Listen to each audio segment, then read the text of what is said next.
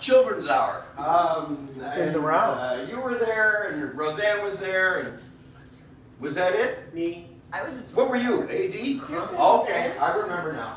Uh, And there was Myra and Stephanie. yeah, but they aren't here, so it doesn't matter.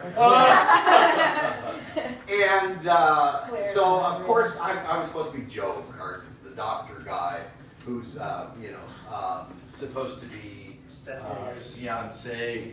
Yeah, Steph Yanger's fiance. Yeah.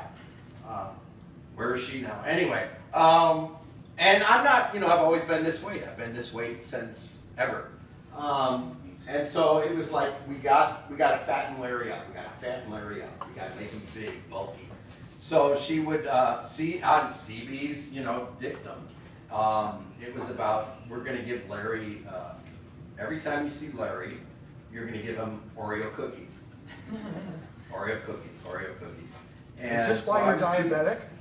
well, it was, it was funny you should mention that because it was like in that month. I was eating all these Oreo cookies. I was running to uh, Dunkin' Donuts in the middle of the night for chocolate donuts and hot cocoa, and just eating and eating and eating all the sugar, and then promptly throwing up. Uh, went home for Thanksgiving. My mother saw me. She said, "Oh my God, you look like death."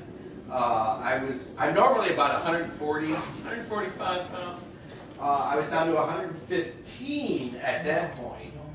Um, so my mother said, when you know, when you get back to the, you know, uh, the, whatever the clinic thing. Yeah, yeah. yeah, yeah.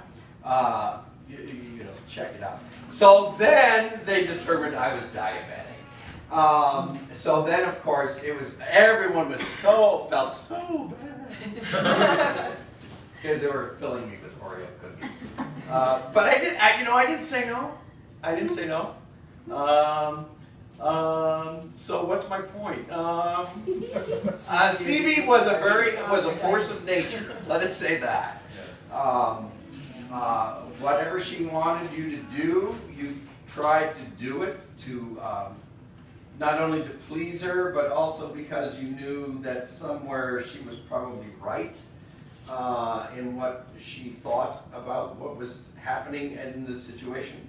Um, and I'm still doing, you know, I'm still, I'm still doing it, for God's sake. Um, so there you go. That's my story. Amen. Amen.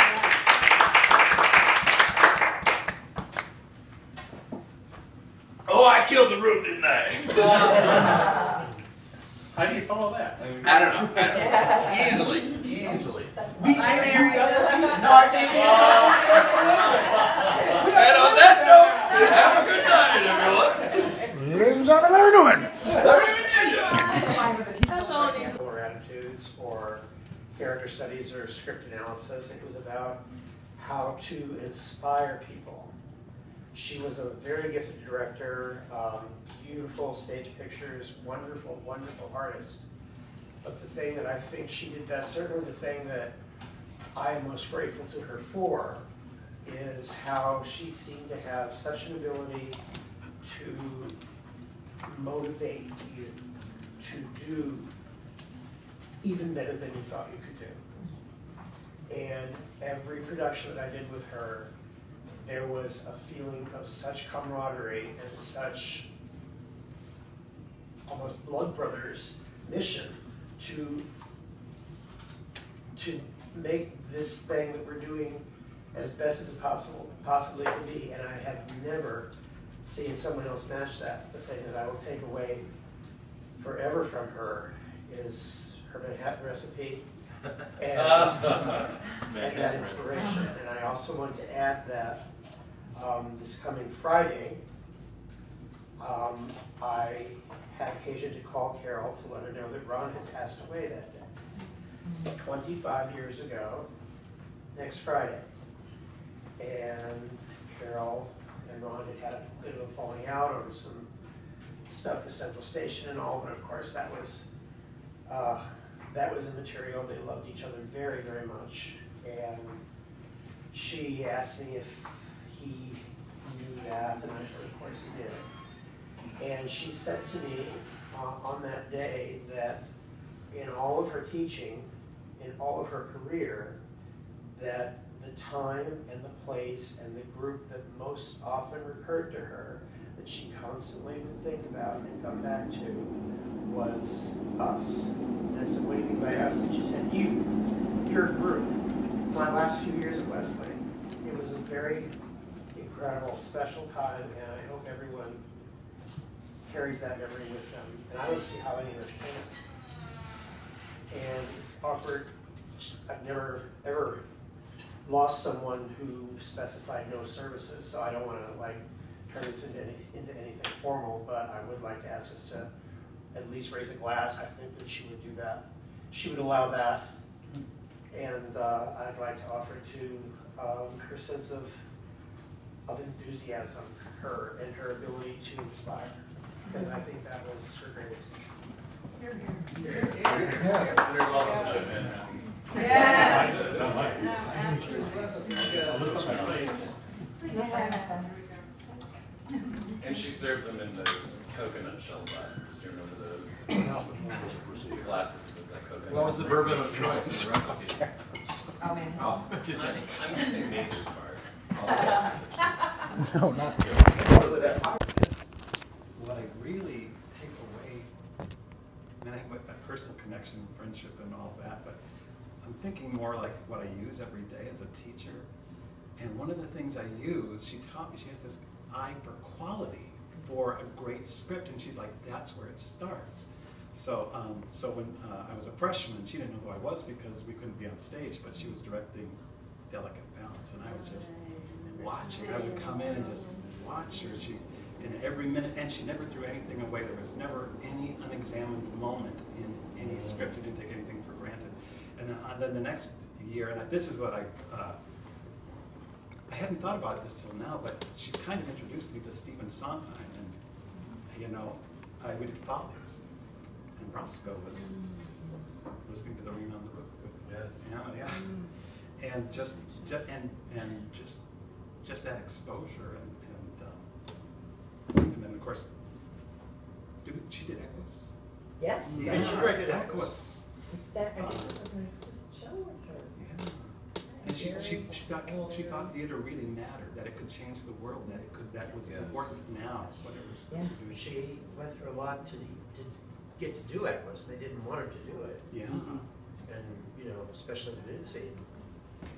which we did once in rehearsals. There are so many shows that just forgot her name until this moment. people like me that were not in school, when you guys were doing these shows, they transcend you.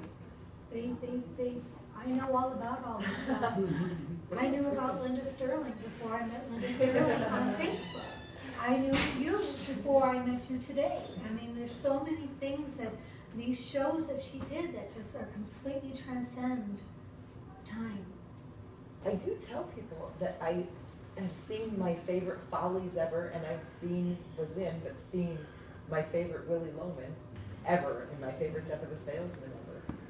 And I've seen many productions since, you know, and they were, I don't think it's just because they were the first time I saw or was involved But Dustin Hoffman's a slouch. compared to KC. Yeah, you got it. You know what was so wonderful about Salesman was that, it- God knows it was a heavy play. But you didn't go for the heavy, No, you went for the laugh, for all those warm moments that made all those heavy moments just, they'd come out of the blue all of a sudden. Casey, I still laugh at the walrus line. Yeah. I Oh my play it in my head and it just makes me laugh all the time. I think of you. You want called me a walrus, slapped him because The whole card game scene with, between you and Gary, Yeah. you know, I mean, all that stuff, it was just hilarious. What's the walrus scene? Well, he says. Do it, he says- Casey, What do he it. say? He says, uh, oh, he said something about a, a walrus. He, uh, he, someone's insulting him, and he says, oh, you know, he, he, uh, oh, his old boss or something. or, Right, right. some other salesman, Some, some other salesman, that's right, it says, yeah, it says, uh, and, and Richie, and then the, and then, what was it, oh, later in the year, it was like, we were doing the Scottish play or something, and you said, well, there's no part, in- there's no part, there's no walrus. So, uh, Did you just say the Scottish play? Yes, I did. Yeah. Yes. Because you have to thirty years later.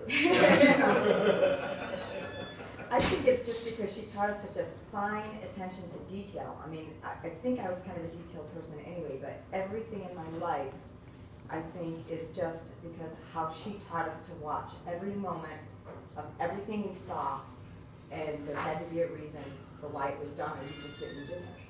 You know, um, I don't know. I mean, I, uh, you know, composition, form, balance on stage, you know, I know I carry that over in a lot of places in my life, that I'm family crazy, but I'm sure. But I mean, I think that sums it up for me with, for her, is just everything with detail. Every moment of every show, when I watch a movie or a play, I watch every detail of what they're doing and why, aha, that's why, oh, there's the meaning there.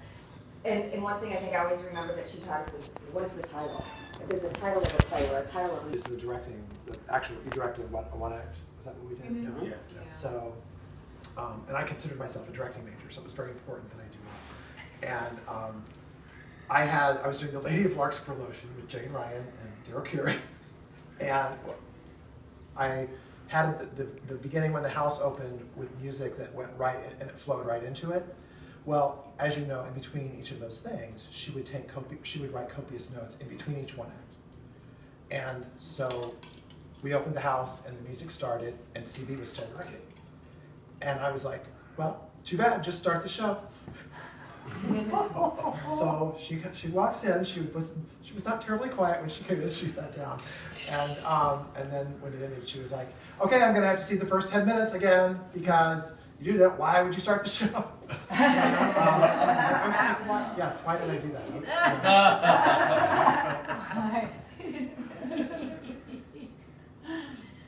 We all know why.